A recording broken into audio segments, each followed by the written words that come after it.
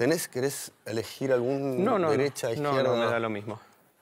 Vamos acá. Y, y- y, eh, y- insalvable, así que ¿Qué Insalvable que eh, los perfiles y esos, así Eh, que ya está.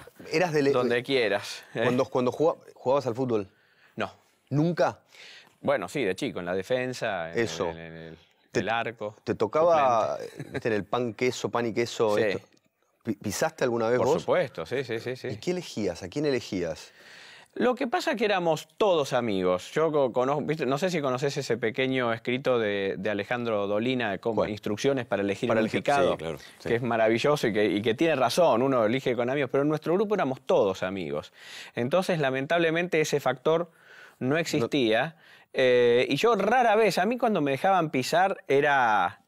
Era una concesión, deja que pise Juan, porque... Porque no eras el... No, claro, no eras- claro, yo no era quien ni para elegir siquiera. O sea, yo era el último elegido. ¿Sí? Sí, sí, sí, siempre. Pero no me sentía mal, ¿eh? porque había otras cosas que hacíamos como grupo en donde yo era más capanga, ¿viste? Como, eh, Por ejemplo. No, las chozas. Vos sabés que yo me, me crié en una época de, de terrenos baldíos todavía, mucho. Entonces, este, construir las casas y todo eso era, era, era, que, era medio el arquitecto, Ah, ¿viste? ¿sí? Creo que no levanté un ladrillo en mi vida. ¿Y Pero, por qué? ¿Qué, qué- eh, qué te atraía de, de la construcción? no, bueno, pero vos sabés que eso es muy... co- eh, Claro, desapareció un poco la cosa, ¿no? De, de los baldíos. Entonces, pero era muy común hacer chozas, casas, este, refugios dentro de la casa. Eh, eh, me parece que hay algo muy este, instintivo, ¿no? En, en tener un, un lugar propio. Yo lo veo en mi hijo que ahora, pobrecito, no, no puede hacer nada de eso y se la pasa haciendo casas con almohadones y sábanas, ¿viste? Lo- ¿Pero lo hace? ¿Y te- Sí, y te sí, sí, gusta? sí, hay que hacer, sí, un lugar donde se pueda quedar encerrado y que construya él. Me, me parece que es una necesidad, no sé, eh, mu- muy, muy innata. ¿Cuánto tiene tu hijo? Cinco. ¿Y qué, qué ves en él, más allá de esta construcción que evidentemente los dos necesitan hacer a una determinada edad? Sí. Vos por ahí un poco más grande, digo, cuando jugabas al fútbol, pero eh, ¿qué, qué más cosas ves en él tuyas? Eh, bueno, la, la, mm, pobrecito creo que va a sufrir más que yo en este sentido, la poca afición por los deportes. Este, no, no, no le gusta. Mi hermano, que es un deportista, es un, es un de- deportista, se jugó al rugby mucho y todo eso, le, le regala pelotas y de, de- de básquet, de fútbol, de Y no rugby, y se van desinflando de a poco. Este, y en la computadora juega cosas de, de, de- de 9 años, 10 años. Son cosas que mucho me más a mí. Sí, sí, sí, sí, sí, sí, sí. Muy hablador, muy de, eh, de, de- de- de- charla casi adulta, de expresiones adultas, de usarlas bien, las cosas. Te cuento una, por ejemplo, que, o sea, si tenemos cuatro horas, porque si, si haces a alguien hablar del hijo, este, vos sabés bueno, que sí, necesitas tengo- tres o cuatro horas. ¿no? Este, no, a los cuatro años, viste, le pregunta eh, mi, mi suegra, bueno, ¿y Fede en la escuela tenés este, novia? Y él dice, ah, no sabe, no contesta. ¿Dónde Yo no sé de dónde sacó eso, pero además está como bien usado, ¿viste? Muy Este, bien. así que sí, sí, sí, sí, sí. Bueno, son muy perceptivos. Eh, paradójicamente estás haciendo una película que tiene que ver con el fútbol.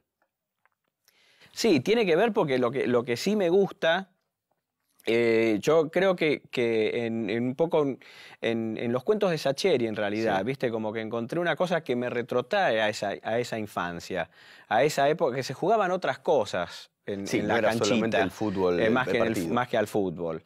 Este, no, no, em, y, y- y esa, y esa épica del fútbol de potrero eh, me gusta mucho. Entonces me parece como un buen ambiente para eso, ¿no? ¿Qué otras Igualmente el protagonista de, de- de la película que estoy haciendo es alguien que es muy malo jugando al fútbol, juega al metegol. ¿Un alter ego? ¿Eh? ¿Es un alter ego?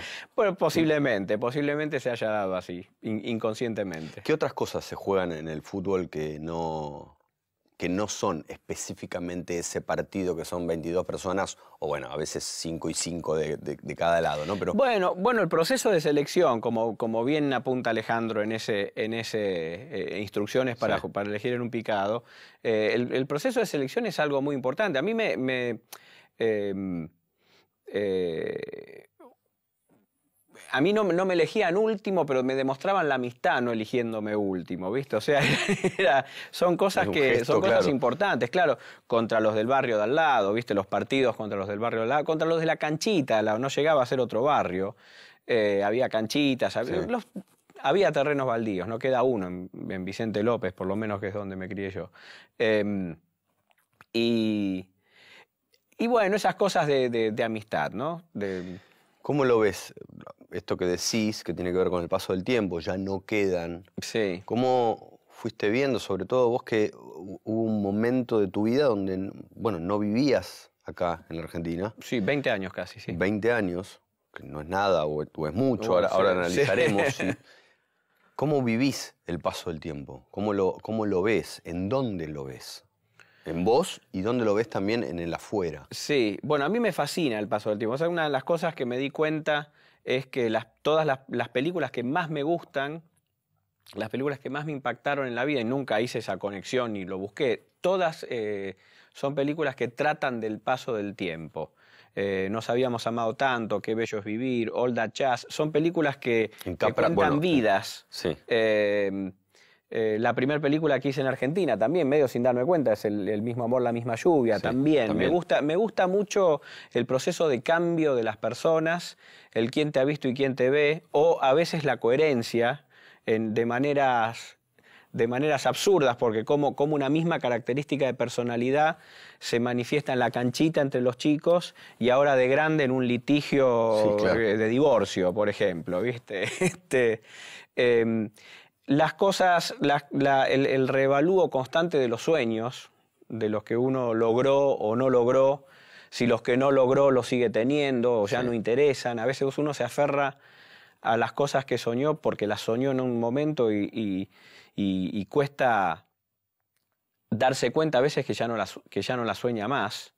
Eh, eso pasa mucho en nuestra profesión, que a veces nos llega la posibilidad de hacer cosas que cuando empezamos teníamos ganas de hacer y cuando nos llega la posibilidad, uno dice, pero si trabajé toda la vida para esto, tendría que agarrarlo, pero la verdad que qué lástima, hubo un destiempo en la vida y ya no tengo ganas. Este, em, todas esas cosas del paso del tiempo me gustan mucho.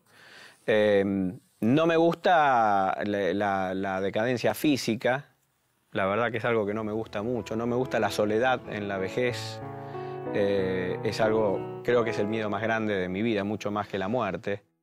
¿Te resulta fácil? A veces, digo, en la creación, en la creación hablo del hecho específicamente por ahí del tratamiento de un guion, del trabajo sobre el guion. A veces te puede pasar que sentís, bueno, sí, pero encontrar esa luz puede en realidad ser un recurso solamente o una, un, bueno, no nos, no nos hundamos tanto? ¿O te aparece naturalmente algo? Digo, ¿cuál es el...? es, que, es el punto de partida ese. Eh, o sea, como se fue dando, ¿no? En la, por supuesto que también hay muchas cosas que uno hace porque van a ser entretenidas, van a ser un divertido. O sea, no, no, Beethoven no hizo solo sinfonías, también se mandaba alguna sonata, algo que se le ocurría un fin de semana. Este, eh, o sea, todo eso es parte del menú también. Pero si hablamos de una película, en donde uno le pone muchos años de trabajo, eh, por lo menos yo le pongo muchos años, tres, cuatro años de mi, de mi vida, este, cuando ya van quedando pocas, y, y, se, y, te das cuenta que vas a poder hacer 10 en tu vida, por ahí, 10, 12. Eh, sí, también porque es una elección tuya no, no, no, de claro, cómo contar. Claro, ¿no? claro. No, hacer una por año eh, Exacto, exacto. Entonces tiene que ser, surge, o sea, si no está esa, esa no, no es que esa observación o esa luz surge en el desarrollo de una película. Hasta que no surge no empiezo a desarrollar la película porque no sé de qué, no, no me interesa hacer una película. Eh, entonces es, al revés la cosa. Lo que, lo que cuesta después es cómo lo cuento esto, porque generalmente son cosas abstractas que hay que darle forma de historia, de personajes, de argumentos, de conflictos, de, bueno, de todo lo que hace a una película. Eh, entonces eh, eso es lo que cuesta. Volviendo un poco a... O sea, yo ahora quiero hacer una película sobre todo esto que estamos hablando. Y no tengo, te juro, es lo, que quiero que, se, es de que se trate la próxima película. Esto es una película, estamos haciendo la película. claro. Y, y, no tengo el argumento, no tengo los personajes, no tengo, no tengo, no tengo mucho. Volviendo a mi recurso del comienzo, que era sobre las elecciones, sí. sobre elegir o ser elegido, vos co-guionás, Sí, vos dirigís. Pero dentro de, un- de una película hay un montón de espacios, de puestos, si se Sí. permite la analogía con un partido de fútbol, hay un montón de puestos que no podés cubrir claro. y donde necesitas un arquero, necesitas un Y buenos. Sí, y buenos. sí, sí, sí, sí. ¿Cómo vas haciendo esa elección? Por ejemplo, con la música. ¿Qué te pasa a vos con la música? ¿Vos cantás, componés, tocás, tenés oído? ¿O decís, hay un músico que se va... Digo, ¿cómo, cómo uno llega a expresarle al músico cuál es la melodía que quiere Sí. para la película en sí? Yo participo bastante de todas las etapas de, de- de la película, pero, eh, pero trato de que la, la cabeza de equipo, trato de que todos en realidad sean muy buenos y, y- y- y que estén compenetrados con el, con el proyecto, con las ganas de hacer una buena película. Eh, eso se nota ya cuando hay un quinto asistente que está en otra, este, Sí. para arriba, o sea, eh, eh, la cadena se corta por, la- por el eslabón más delgado, no importa dónde esté ese eslabón. Eh, y, pero con las cabezas de equipo me, me- me fijo, primero que, esté, que les guste lo mismo que a mí. O sea, yo no, no, no, el debate es dentro de, de un, dentro de un estilo.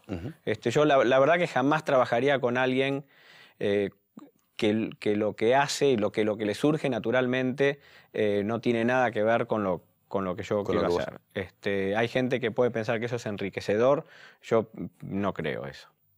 Eh, o sea que ya tiene que haber una, una afinidad. Sí. Por supuesto que dentro de esa afinidad hay debates. eh, Sí, sí. eh, con actores, con, con- con escenógrafos, con director de fotografía, con todos, ¿no? Pero en la música concretamente, eh, lo que pasa, pobre, los músicos, los músicos tienen una- una desventaja que no tiene ninguna otra persona en la película, que es que uno compagina la película, generalmente, Sí, eh, antes de que empiece a trabajar el músico, y la compagina con música de otros. Sí. Eh, lo que es la banda temporaria, el temp track. Y no hay otro rubro en la película. Yo Yo no actúo la película con por otros actores y Ah. después te digo, Gastón, Sí, sí, entra. mira, sé cómo hizo, como acá, yo quiero hacer algo como lo que hace De Niro en, acá y te muestro todo y mitad. Este, entonces, es raro porque uno tiene que mostrar esa película con esa música como para que sepa el clima. Después, olvídate de la música que está. Claro. Para que está. Para esa altura, nosotros ya hace tres o cuatro meses que venimos escuchando la película con Por esa eso- música. a eso- yo específicamente hablaba por ese tema. Eh, eh, mira, yo la verdad que he tenido suerte de trabajar, por ejemplo, bueno, ya tra- he trabajado mucho con Emilio Cauderer Sí. eh, y, y ya he trabajado lo suficiente como para que esa banda temporaria es por lo menos la mitad música de él, de otras Sí, películas. claro. Entonces el factor ofensa es Sí, menor. sí, mucho menos. Este, y, y después, si no le pido antes, ahora nos estamos en Metegol, se involucró muy desde entrada, aprovechando este proceso de la película de animación que vos la montás antes de filmarla, en realidad. Entonces este, hablamos de la historia y qué sé yo, y él mismo me mandó una música temporaria al estilo de lo que pensaba. Este, entonces este, estamos así en la cosa. Pero después dentro de lo que es la escena y de lo que es los momentos y todo eso lo hablamos mucho, me meto bastante, incluso en los arreglos. Hubo una, una escena, creo que la, la escena que más nos costó eh, en nuestra carrera juntos, eh, eh, con Emilio y con las dos películas que hice con Ángel y Larramendi también. El hijo de la novia y Luna, Y Luna. fue la escena de la despedida en el tren de, en El secreto de sus ojos, Sí. cuando Soledad va corriendo detrás de Ricardo. ¿Por qué? Eh, es que era- un punto, un tono muy particular. Yo creo que es la escena que más veces recompaginé en mi vida. eh, y el ida y vuelta con la música, era de, de música, no tenía diálogo casi la escena. eh, fue constante. Fuimos, empezamos de, bueno, vamos desde el melodrama cursi con Tutti y vamos bajando, Digo, bajando, una escena bajando. que a lo largo de la historia del cine, las despedidas en los trenes es... No, por supuesto. Bueno, yo, yo en realidad surge de Para- las ganas de hacer esa escena Claro. alguna vez en mi vida. Claro. Este, entonces la cosa es cómo la meto Cómo que la- parezca orgánica Claro, la película claro. y que además dentro del tono, sabiendo que es una escena de, de, alto potencial de, melodrama. Eh, de melodrama en el mal sentido. El melodrama en el buen sentido me, encanta y era lo que buscábamos en realidad. Eh, entonces, bueno, esa fue un, empezar a sacar. Em, em, o sea, empecemos. Creo que en todo nuestro laburo, en el del actor, el director, el guionista y todo, todo fue hecho ya, digamos. ¿no? Eso lo sabemos todo, hay que admitirlo. Entonces, para no irme de esto, ¿cómo se convive con eso? A dónde lo ubica uno, a uno y al ego de uno, saber que todo fue hecho. Y lo, que pasa, bueno, lo que pasa es que lo que, es que lo que son nuevas son las mezclas, las mezclas y las combinaciones. Las, notas musicales son siete, con algunos sostenidos, y se hizo el canto gregoriano y, papo, ¿viste? Así que con las mismas siete notas. Este, así que las combinaciones son eternas. Em, pero en toda escena, en todo momento que uno escribe hay un cliché. O sea, hay un cliché. Yo creo que lo que tenemos que hacer es buscar el cliché y después empezar, a tratar de alejarnos lo más posible. Pero digo, en ningún momento en la búsqueda de un guionista y director hay, ¿y si descubro realmente algo nuevo? ¿No te eh. pasa? ¿O es, algo que uno ya tiene que despejar de entrada? ¿O, hay en algún lugar de tu cabeza, de tu alma, la esperanza de decir, ¿y si descubro una nueva? Es que la, la combinación es nueva. La receta es nueva, pero los ingredientes van a ser siempre los mismos. O sea, hay recetas de cocina siempre, pero todas son con harina, huevos, zanahoria. Pero digo, alguien un día descubre que eh, extrañamente, digo, esto a lo largo de la historia de la humanidad ha ocurrido, que de pronto alguien descubre que había algo más que lo que nos habían dicho que eran siete notas. ¿Qué pasa si un día... Bueno, hay, ha, habido, está, está todo, fue la música dodecafónica, claro, todo eso. Esto ahí aparecieron como, ah, mira, también existe esto. Sí, murieron rápido también. Sí. En lo que es la historia de la humanidad. Sí. Parece, pareció interminable porque lo vivimos nosotros. Sí, claro. pero, pero, tuvo como una Yo fui a un concierto de uno de esos y a mí me pareció interminable, pero... El concierto en sí. El concierto no, en no terminamos. Sí, claro, yo también lo viví y es como, bueno, listo, ya está, ya está, ya está. Pero es muy necesario, igualmente, porque esa búsqueda, ahí es la búsqueda de alejarse del cliché. Sí. O sea, yo, eh, me parece que son investigaciones que hay que hacer. Eh, ¿Cuántos ratones se mueren para, encontrar un remedio que empiece a salvar vidas? Sí. Eh, entonces, realmente hay, eso es lo que eso es lo que lo que buscaba. En esa escena por ejemplo en el trabajo con Emilio buscamos vamos con el cliché. Ahora que gracias a Dios con el MIDI podés hacer toda la orquesta aunque aunque no suena como una orquesta después hay que regrabarlo pero por lo menos te tenga fuimos con el cliché. Después vamos a la, otra a la antítesis. Eh, la, totalmente seca.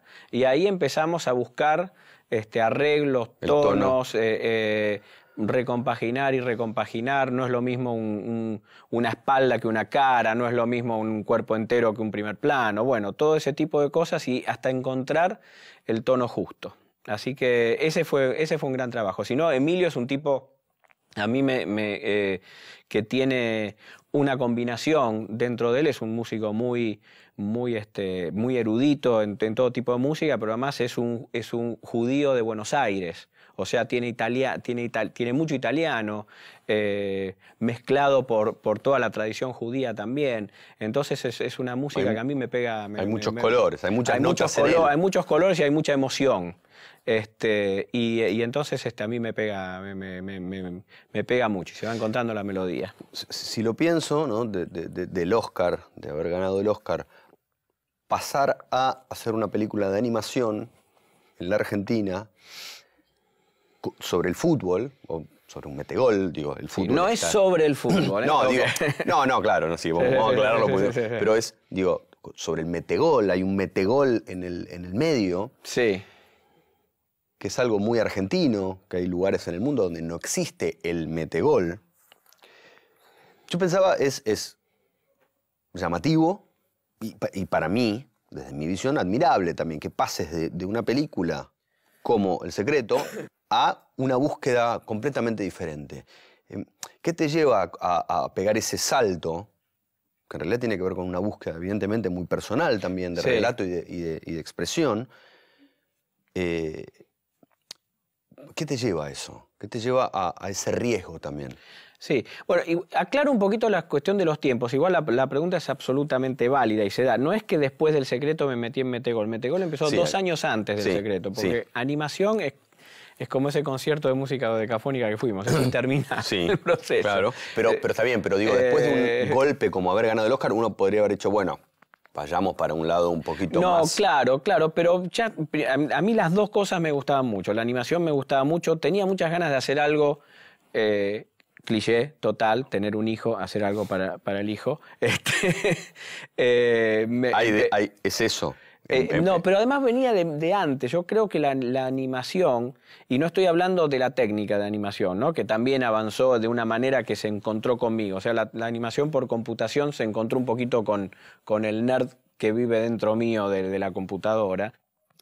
Pero también empezó a tener una cosa en los 90 de, de un tono que a mí me resonó mucho, que el cine en vivo para mí fue perdiendo que es ese tono justo, que te digo, de, humor, emoción. Eh, yo realmente, a mí en, los 90 yo tenía ya 40, 30, 30, y pico, casi 40 años, y veo Toy Story 2. Y digo, esta para mí es la mejor película de la década. Genial. Eh, o sea, fue al chico que te llevamos adentro, etcétera, etcétera, pero también me emocionó como persona de edad mediana. Eh, y digo, nos da la derecha para, para, para ciertas cosas de melodrama, la animación, digo, el hecho de que sean ya personajes caricaturescos, nos permite ciertas cosas que ya como que el cine en vivo ya eh, somos muy cool para, para, para hacer, eh, o sea, ciertas cosas del cuento de hadas.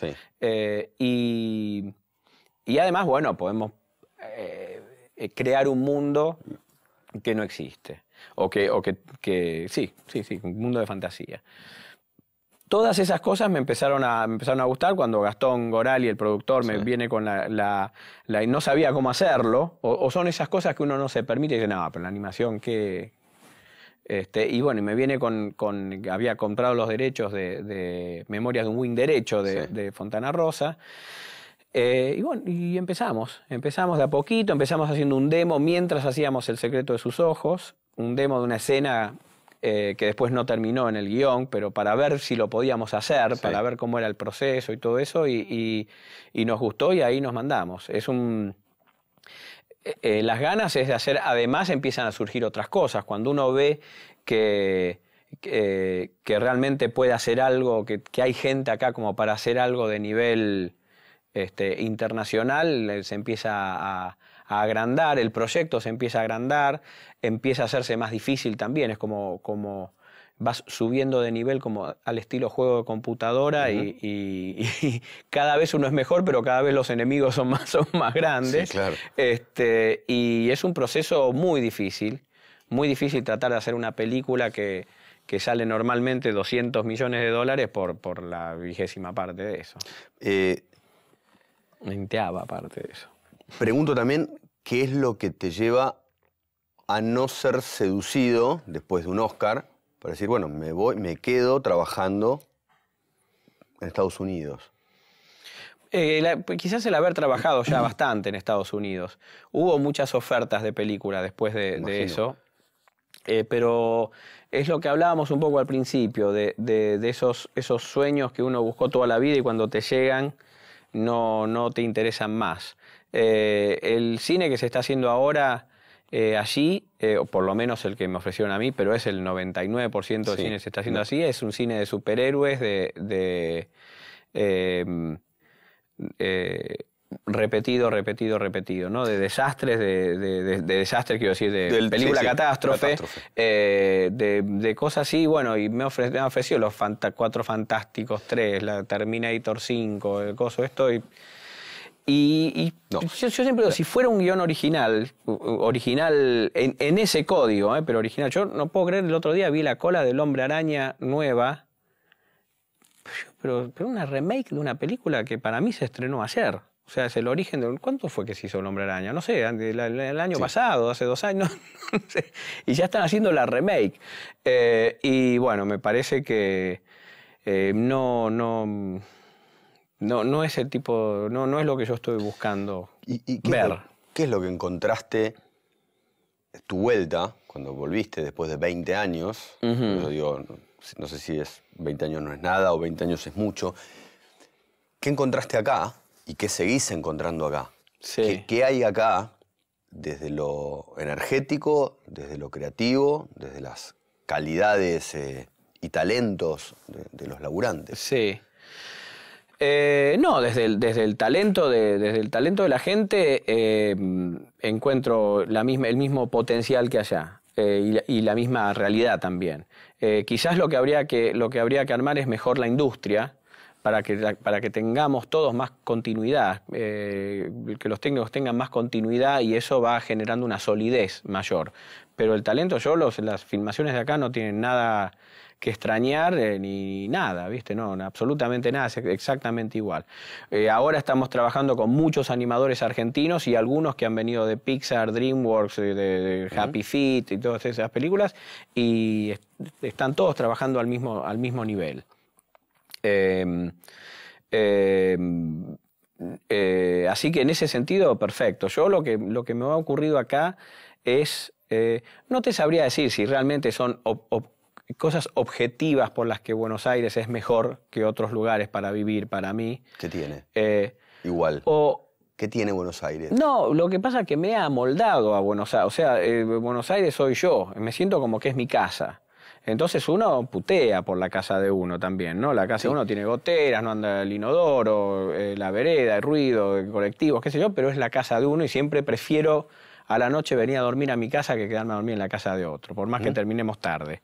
Este, eh, me gusta despertarme en mi casa, digamos.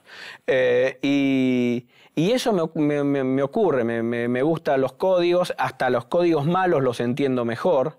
Eh, Nueva York es una ciudad que me gusta, que es muy parecida a Buenos Aires, pero hay un tema de, de soledad y despersonalización un poco bastante grande ahí. Eh, si bien es una ciudad como, Buenos Aires, muy, muy parecida, muy parecida en, la, manera de vivir. Pero este tema de, la soledad a mí se me hizo muy mancado. Es un tema recurrente. Eh, bueno, claro, ¿eh? claro, claro, claro. Sí, sí, sí, sí. ¿En cuánto cambia? Pasa que, vos los primeros años del, del emigrante eh, son muy duros. Eh, son muy duros. La vivís de una manera en que no la vivís, eh, en que el que vivió acá toda su vida, o acá o en su lugar, donde se crió, sea cual fuere, toda su vida no, no lo entiende. Pero eso se aloja en algún lugar tuyo y, ya no se modifica. Digo, esta noción de la soledad, que en realidad por ahí venía de antes de Nueva York, cuando te fuiste, ¿no? Digo, del... No, no, no, no, no. Fue un shock. Yo me acuerdo que mi primer invierno en Nueva York fue... crudo. Fue muy, muy duro, muy duro. Y no por el frío, ¿eh? y no por la nieve, que también. Eh, fue muy, muy duro, muy, muy duro. Es, sentirse que estás solo. Solo, solo, solo, solo. Que no hay nadie a quien llamar por teléfono, que no hay, eh, en esa época además mis padres vivían, me tenía contención familiar, de amigos, de colegas, de todo el mundo. Estar solo. De que si te agarra un, un, un patatús a las 3 de la mañana, este, o sea, te caes por un tubo que no tiene manijas. Este, y, realmente fue un, momento que hasta, hasta tuve eh, miedo de, de, pirarme. Eh, pero miedo en serio, ¿eh? Una noche me acuerdo tal cual. Una noche que dije, por favor, por favor, paremos, paremos porque me, porque me vuelvo loco. Este, cuando, y fue la única vez que me pasó en mi vida. 24 años tenía. Eh, y, y después, bueno, después lo vas piloteando, ¿viste? Te vas haciendo algún círculo de amigos, algún remedo de compañía vas teniendo.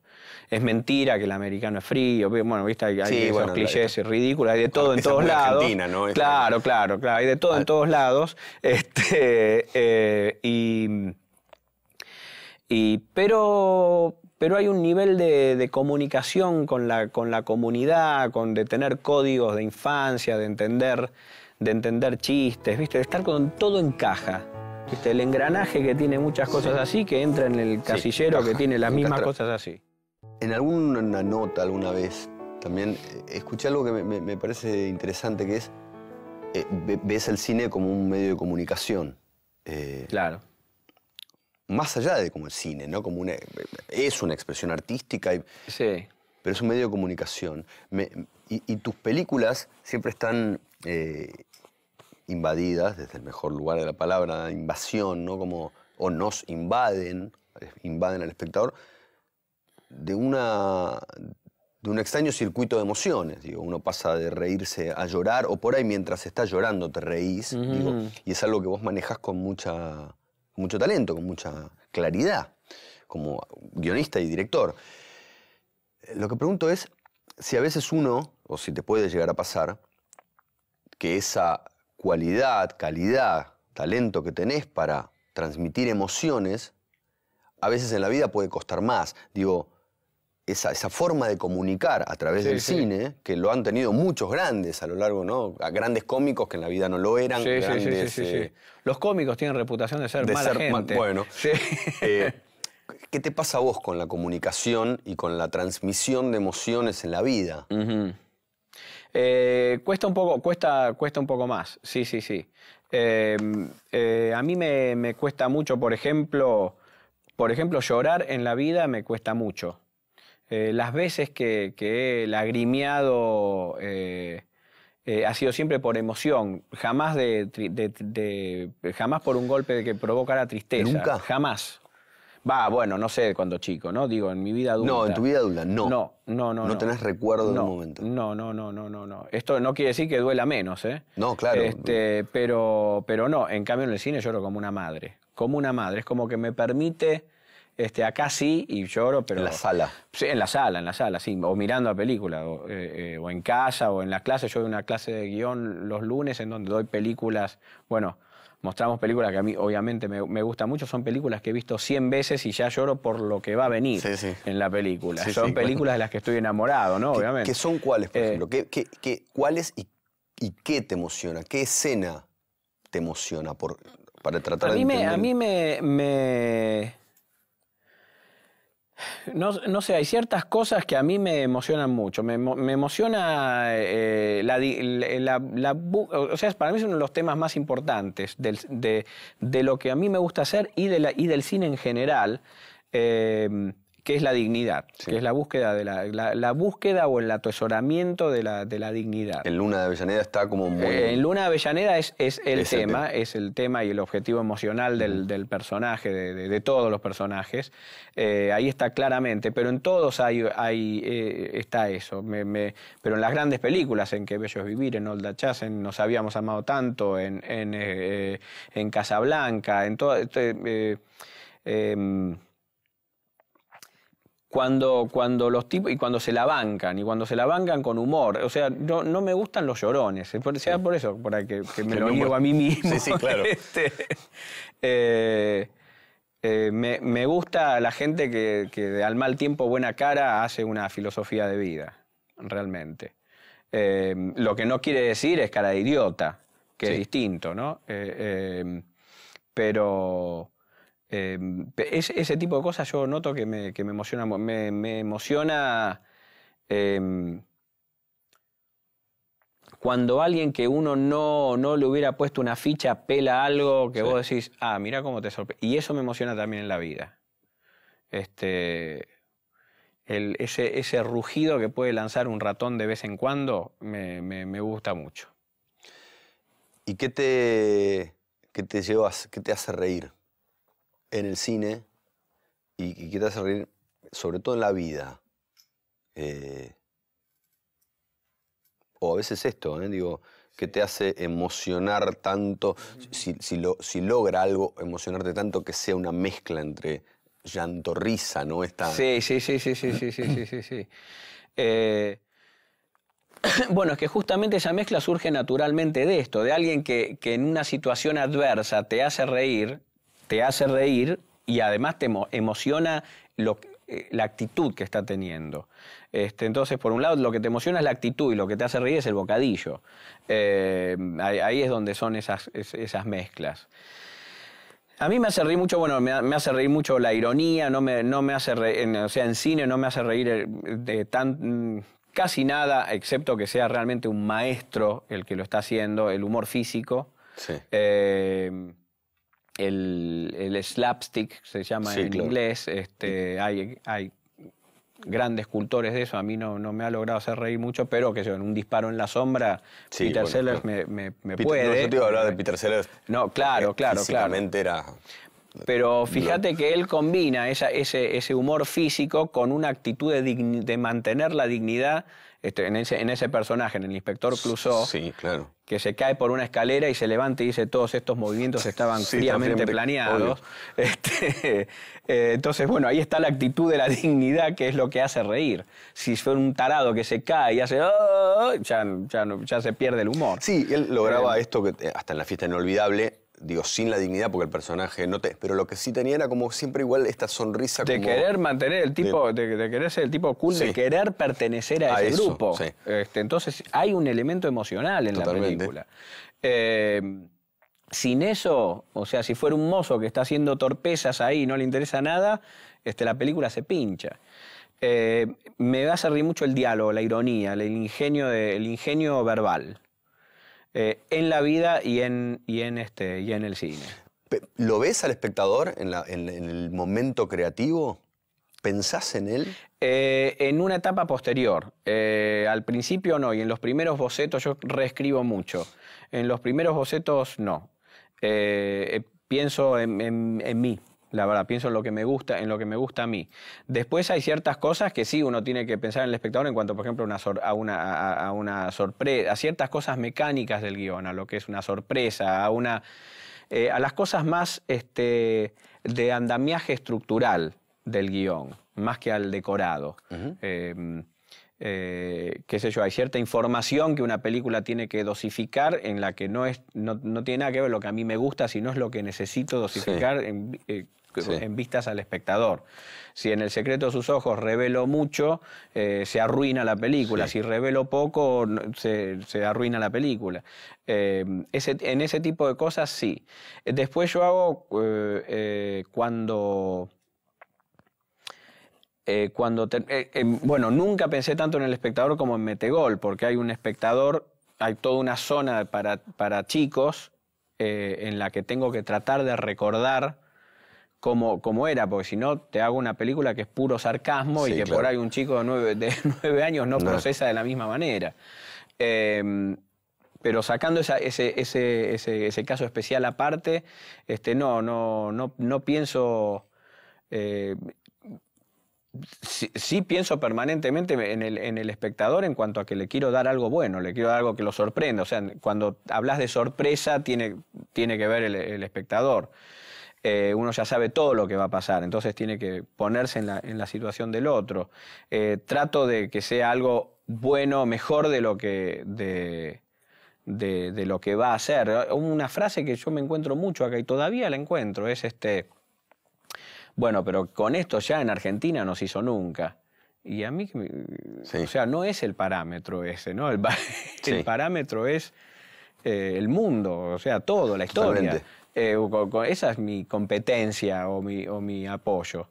Em, o sea, es, esa cosa de dar un poco, de dar un poco más y de dar más de, lo que yo aprecio mucho como espectador cuando me dan más de lo que yo hubiera pedido.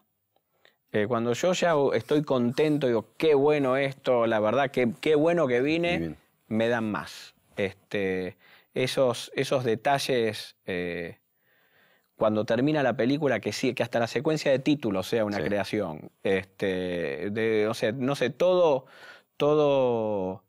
Eh, eh, en, ese sentido pienso mucho en el espectador, en que el tipo la paz, o sea, en darle un banquete. Ahora, cuando uno hace un banquete, no, no hace comida que a uno no le guste, generalmente. Entonces, en, ese sentido no pienso en el espectador. Digo, bueno, al que le gusta la comida que yo prepare, le voy a dar la mejor comida que yo pueda preparar. Hay una frase de James Cagney que decía, ¿cuál es el secreto de la actuación? Pararse en la marca, eh, mirar al compañero a los ojos y decir la verdad. Sí. ¿Es tan así para vos? Entonces, Absolutamente, aún en la comedia, ¿eh? aún en la comedia, por lo menos la que me gusta a mí y en la, y en la, y en la que hago. y Absolutamente, la, verdad sobre todo. Yo eh, creo que para mi gusto, ¿no? Eh, con, hay excepciones también. No creo que Groucho Marx se preocupara por decir la verdad y me gusta. No. pero, bueno, pero, o sea, él era así todo timing, delivery y todo eso. exacto, sí, sí, sí. Pero en cuanto a lo emocional. pero en la comedia que a mí más me gusta, eh, eh, la comedia se encarga el texto, el texto, de la comedia. Sí, no hay que reforzar. Claro, la emoción tiene, y tenemos que encontrar la emoción. Yo creo que los grandes actores, bueno, Ricardo, Guillermo, Eduardo, Mercedes, Pablo, vos, que, que, he trabajado, logran, logran eso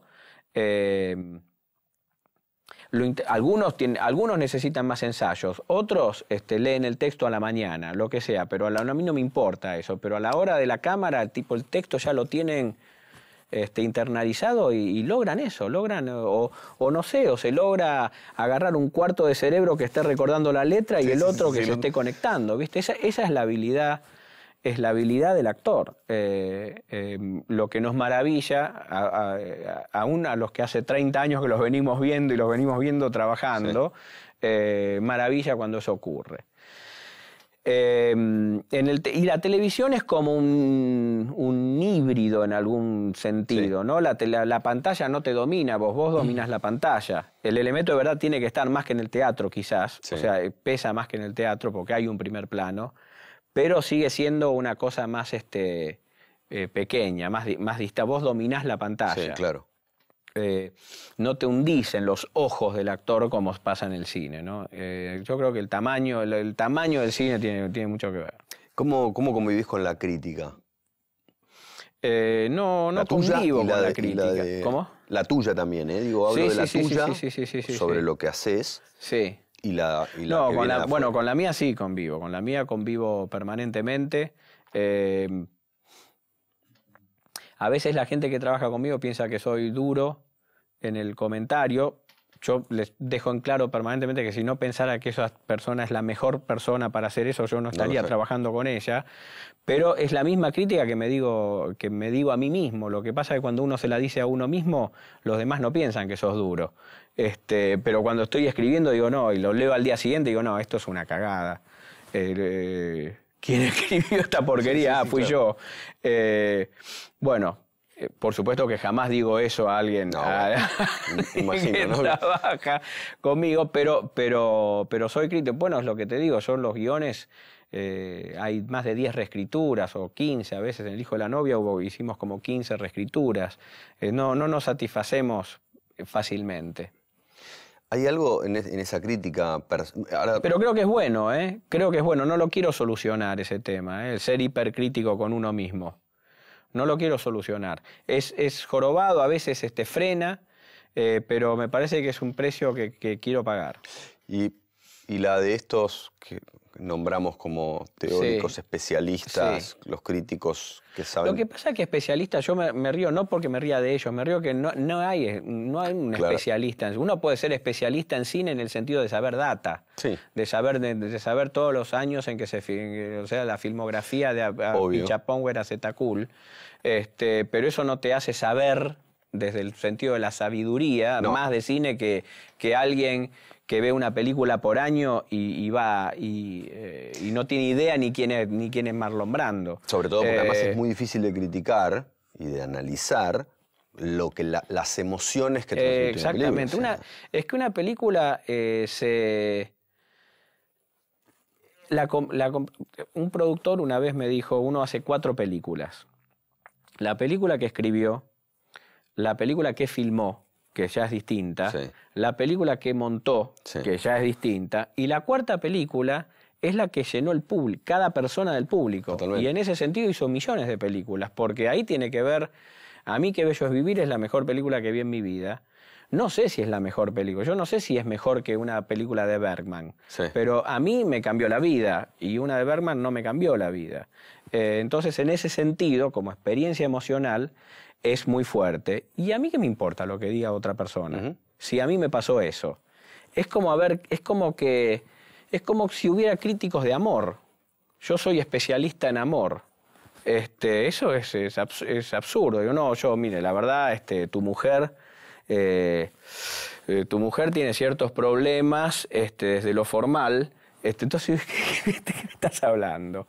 Hay algo en la crítica tuya ¿eh? y en la constructiva crítica tuya, ¿hay algo que sientas que no...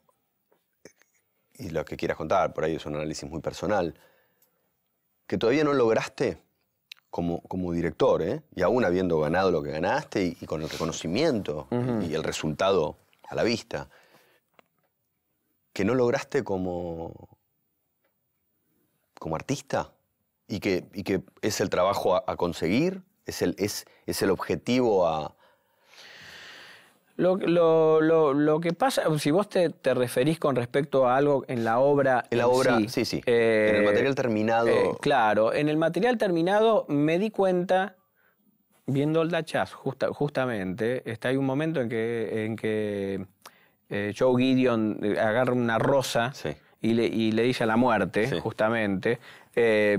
Yo veo esto y es perfecto. Y digo, ¿por qué no puedo hacer esto? Eh, y yo creo que, el que si alguien hubiera hecho la rosa, tampoco le parecería perfecto. Porque hubiera visto, yo empecé con la semilla y me costó tanto laburo cuando llegué que ya para mí es una cosa que ya está. generalmente cuando uno la termina, este, espera que la vea otro para poder verla con ojos frescos. Y me, me parece que buscar la magia, que es lo que uno en realidad ve en otras películas que uno no hizo, buscar la magia y la sorpresa en algo que hace uno, en donde la sorpresa la eliminás ya por su... O sea, que me sorprenda una película terminada que hice yo es, eh, o sea, buscar eso sería buscar la fórmula del helado frito, ¿no? Es imposible. Sí, claro. Si ya sabes todo, sabes los dolores, los que llegaste tarde, el día que fuiste enfermo, los disgustos, la bronca, todo. Entonces, en ese sentido, creo que lamentablemente eh, uno nunca va a poder gozar de la película de uno como goza de la película, de una buena película de otro, claro. Este, así que en ese sentido, por lo menos trato de, eh, de convencerme de que no, no, no, no ponerme mal por eso, porque nunca me va a parecer bueno, me, me sorprende. Yo realmente la, la, reacción con el secreto de sus ojos a mí me sorprendió. Nosotros la veíamos con los chicos, con Camilo Antolini, que fue el compaginador de todas mis películas anteriores. La estábamos viendo cuando vimos la primera vez y decíamos, bueno, bueno, es distinta. Cuando la vimos solos, ¿no? En la sala de montaje, la primera vez que yo termino el corte y se los muestro a los chicos primero. digo a los chicos porque tienen casi ya 40 pirulos. Este, eh, es distinta. No, está bueno, es un, es un thriller, está bueno, sí, sí, sí. Silencio, ¿viste? Sí, no es emocionante como las otras. Este, o sea, viste, en el laburo no sabes qué es y después la, eh, la gente lee otra, otra película. Y yo ahí estaba con el miedo de que se darán, cuenta, se darán cuenta, al final sorpresa, cuánta información doy, cuánto no, cuánta, viste, eh, el andamiaje, eh, uno nunca sabe lo que hizo, la verdad, es muy seguro con lo, con lo que hace. Ese reconocimiento, entre comillas, tardío, porque el reconocimiento llega por alguna razón que uno no maneja, pero eh, ¿cómo hiciste o cómo se convive con el, porque ha habido casos a lo largo de la historia de gente que el reconocimiento le llegó tarde, y eso marcaba un resentimiento, ¿no? Como un, bueno, ahora sí, y, y, más para... En vos fue algo... Seguiste por un camino y en ningún momento hubo un... ¿no? Bueno, ahora soy... Sí, sí, sí, sí. ¿Cómo lo viviste vos? No, claro, yo justamente, yo, mira, eh, no había pensado lo de, de, la gente que le llega tarde y se pone resentida. A mí siempre Pensé que se vivió feo cuando ocurría, pero ahora viendo, viendo toda la película para atrás, me parece que el haber empezado con los fracasos y grandes eh, me atemperó, digamos, ¿viste? Uno trata de, para seguir adelante, eh, ser resistente a... Eh, impermeable a, los palos del, fracaso y, y bueno, esa impermeabilidad también, este, aunque uno no lo quiera, te hace también impermeable a, las mieles del éxito. Este, no, porque además lo veo ahí a la vuelta de la esquina. No, no, yo no, no sé qué hice distinto en, estas, en las películas que anduvieron que en las que no anduvieron. No sé qué hice distinto. Eh, eh, ni, hablar ya de las, de las americanas, pero hablando entre el mismo amor y, y el hijo de la novia ¿Qué hice? No, no hice, no, no soy consciente de nada. Eh, eh, trabajamos con Ricardo de la misma manera, con, Eduardo. Con, Eduardo, con Eduardo, o sea, lo encaramos exactamente de la misma manera, hice las decisiones del mismo punto de vista, no las mismas decisiones, pero del mismo punto de vista, y una anda y la otra no. la próxima película puede ser un fracaso total y eso eh, eh, me, voy, me voy preparando. bueno, este, este, ciclo de entrevistas en realidad yo fui seleccionando, eligiendo, invitando a gente con la que me interesaba tener una charla para entender también cosas mías y entender un poco más este medio en el que me, en el que me muevo. Que cuando uno ve a alguien que ha llegado a un lugar como el que llegaste vos y el ego sigue estando ubicado donde tiene que estar, puesto en función del trabajo y de la expresión y de la creación, bueno, es para agradecer, yo quería agradecer eso y quiero agradecerte aún más la charla. No, bueno, muchas gracias a vos. La verdad que em, además empezaste sin avisar que estábamos empezando, o sea que me di cuenta que estábamos grabando el programa cuando estábamos por la mitad de la charla. Bueno, si querés sacamos la primera parte. no, así que muy, muy, muy lindo, muy, muy bueno y, está bueno hablar de estas cosas que generalmente no, no las hablamos. Buenísimo. Gracias, Juan. Muchas gracias a vos. Gracias. Bueno. Divino, ¿eh?